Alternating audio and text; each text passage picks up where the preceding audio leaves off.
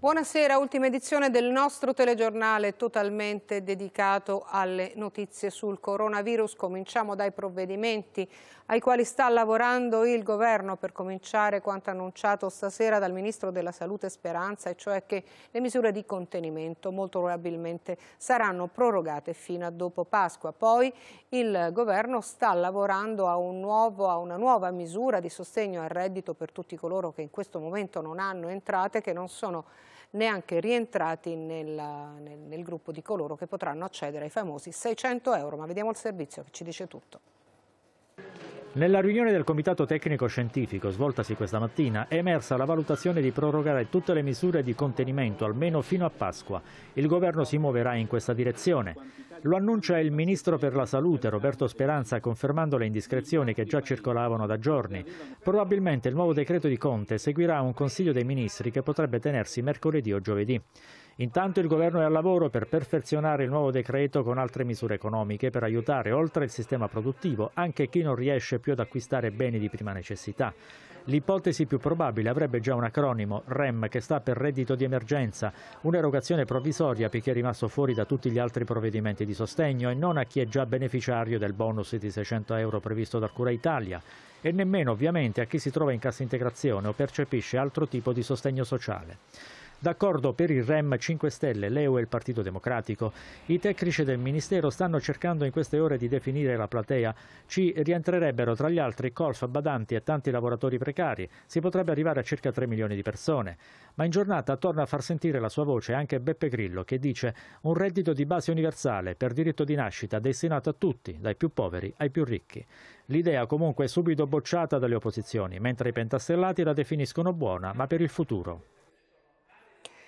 E sul fronte della malattia i numeri di oggi ci dicono che c'è un graduale rallentamento dei contagi, ce ne sono stati molti eh, di meno rispetto a ieri, anche se resta purtroppo alto il numero delle vittime, più di 800 le persone che hanno perso la vita ieri per il Covid-19, anche se è troppo presto dirlo, però sembra che ci sia un piccolo barlume di speranza. Vediamo il servizio.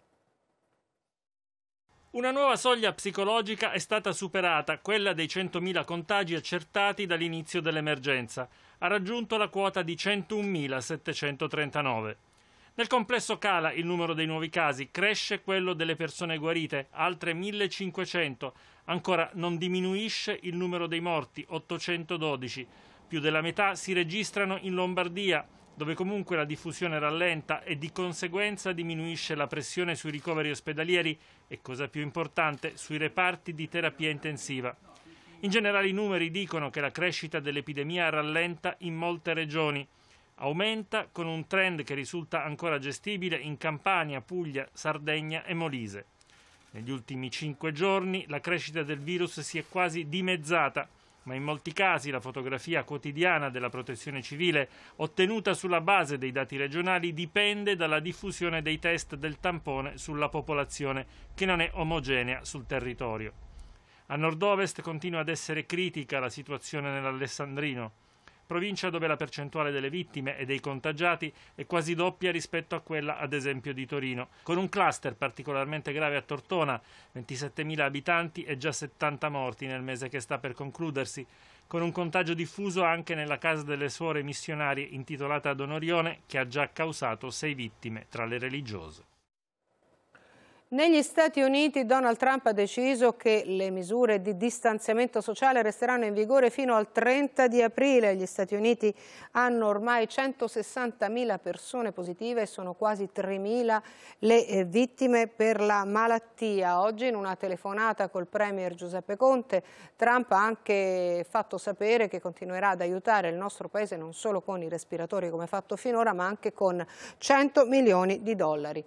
Resta difficile poi la situazione in tutta Europa dove i casi di contagio sono oltre 400.000. Vediamo il servizio. Per affrontare l'emergenza coronavirus, Viktor Orban ha ottenuto i pieni poteri rinnovabili senza limiti. La legge speciale è stata approvata oggi dal Parlamento ungherese e consente al Premier di fare praticamente ciò che vuole, governare per decreto, chiudere il Parlamento, sospendere leggi ed elezioni e determinare quando l'emergenza finirà. Colpita anche la libertà di informazione e chi diffonderà fake news sulla pandemia rischia una condanna fino a cinque anni. Le opposizioni parlano di colpo di Stato messo a segno con il pretesto del virus.